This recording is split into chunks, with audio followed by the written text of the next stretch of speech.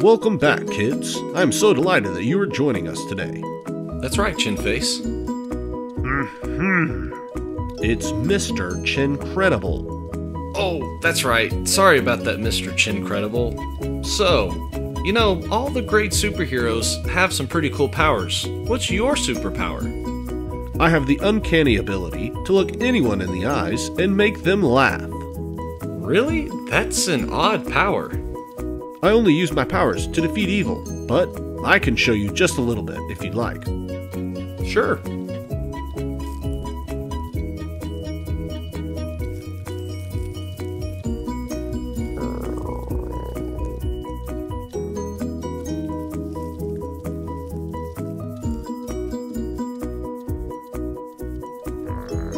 Ah, wow, your mental capacities are just too powerful.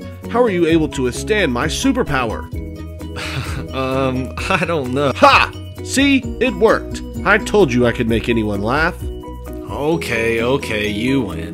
Well, let's go ahead and get started. Mr. Chincredible, will you count us down? Three, two, one.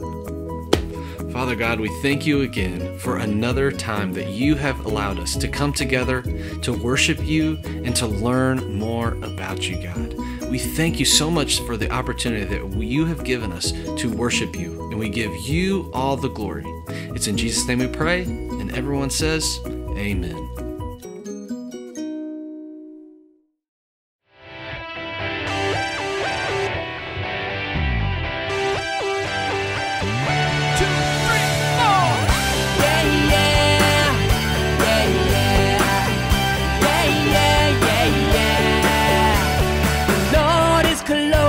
The broken hearted and saves those who are crushed in spirit. The Lord is close to the broken hearted.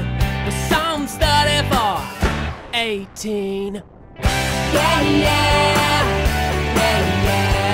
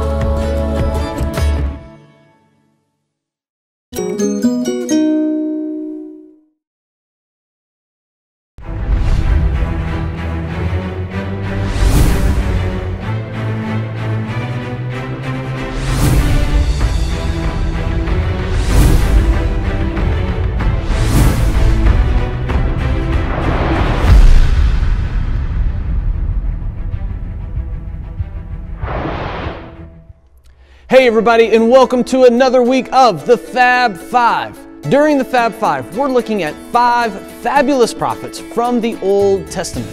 A prophet was someone that could see into the future. God would show the prophets what was going to happen, and then the prophets would tell the people what God had showed them. Today, we're going to talk about a prophet named Jeremiah. Now, God sent Jeremiah to the two southern tribes, the nation of Judah. But like a lot of prophets, Jeremiah didn't have a whole lot of luck turning the people back to God. Talking to the people of Judah was kind of like, well, kind of like this. Hey, can I have a high five? How are you doing today? Um, maybe he like didn't hear me. Maybe I'll try again. I said, how are you doing? I don't think he can hear me very well. Maybe I'll try a little bit louder. I said, how are you doing? How rude. Have I ever mentioned that you have great posture? You stand nice and tall. Let me guess. Is your favorite movie Wally? Get it? Wall-E? Nothing. I can't believe this. For Jeremiah, talking to the people of Judah was like talking to that wall. Nobody listened to him. Nobody did what he said. And because of that, Judah suffered the consequences big time. Are you ready to see what happened in our true story? Awesome. Let's get started. It's time for our big Bible story, but we're going to tell this one just like we have the past two weeks. I've got a comic here that I want to show you guys. Notice how there are sections in each panel that are missing. You're going to help us fill that in by drawing your own comic.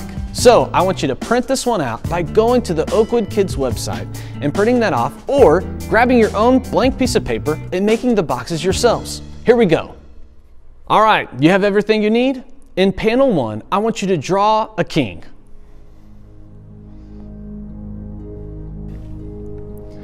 All around the borders of Israel and Judah, powerful nations are rising up and looking for new lands to conquer. Because of their sin, the nation of Israel has already been conquered by their enemy, and now the evil Babylonians are looking to conquer God's people in the nation of Judah. There's only one thing stopping them. The king of Judah has agreed to remain loyal to evil Babylon and pay them money in exchange for peace. But the king of Judah is getting tired of paying, and now he's talking with other nations about going to war with the powerful Babylonians. God has other plans, though. He sends a prophet named Jeremiah to confront the king of Judah. When Jeremiah shows up, he's wearing a large yoke on his neck. A yoke is a wooden beam that farmers put on the necks of their oxen to control the powerful animals. Jeremiah tells the king, God has given you over to Babylon because of your wickedness. Babylon has put its yoke of power on your neck, and now they control you like a wild beast. If you accept the yoke and serve Babylon, you will live. If you don't serve Babylon, you will die. Any prophet who tells you different is a liar. Now, on panel two, I want you to draw a broken yoke. There's another prophet in the room, though, a false prophet named Hananiah. He grabs the yoke from Jeremiah's neck and smashes it on the ground. Hananiah shouts, No! This is what the Lord says I will break the yoke of Babylon, and you will be free of their control. But God didn't really say that, and he's not too happy with Hananiah. So he gives Jeremiah one more prophecy to share with the audience. The Babylonian yoke is made of iron and not so easily broken. I have given them control over the wild animals, and I will give them control over you too. And as for Hananiah, because of your lies, you will die this very year. Unfortunately, Jeremiah is alone in his warning, and no one will listen to him. Even when Hananiah dies two months later, the king of Judah doesn't want to believe Jeremiah's prophecy, so he continues to conspire with Egypt to wage war with the Babylonians. When the enemy king of Babylon hears about the conspiracy, he's quick to attack Jerusalem, just like Jeremiah had prophesied. The only things that keep the Babylonian army from a swift victory are the giant walls surrounding Jerusalem. Now, in panel 3, draw Jeremiah sitting in the mud. While the walls hold the Babylonian army at bay, the soldiers of Judah search for Jeremiah. Even though it's the sin of the people that has caused this calamity, the people of Judah call Jeremiah a traitor and blame him for all of the bad things that are happening. When the soldiers find Jeremiah, they grab him and throw him in the dried up well and leave him there to starve. Alone and in the dark, Jeremiah sits hungry in the gooey, stinky mud, wondering if he'll ever live to see the light again. But God hasn't forgotten about Jeremiah, and he moves the king of Judah to show him mercy.